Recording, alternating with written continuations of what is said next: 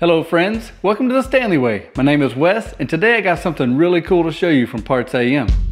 An emergency light that mounts to your sun visor. This visor emergency light is a red and blue, has 48 LEDs made out of ABS. It's got nylon Velcro straps to go around the sun visor in your car. Comes with your standard 12 volt plug.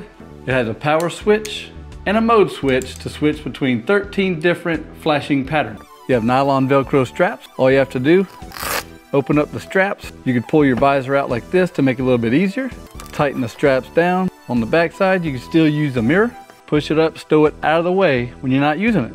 Easy access to the switch and to choose the different modes. Out of the way when you don't need it. To all of our men and women in blue, we thank you and appreciate you for all that you do. There's a link in the description, takes you straight to Amazon, and you can check it out. Why not? We hope you have a great day and see you back here again real soon.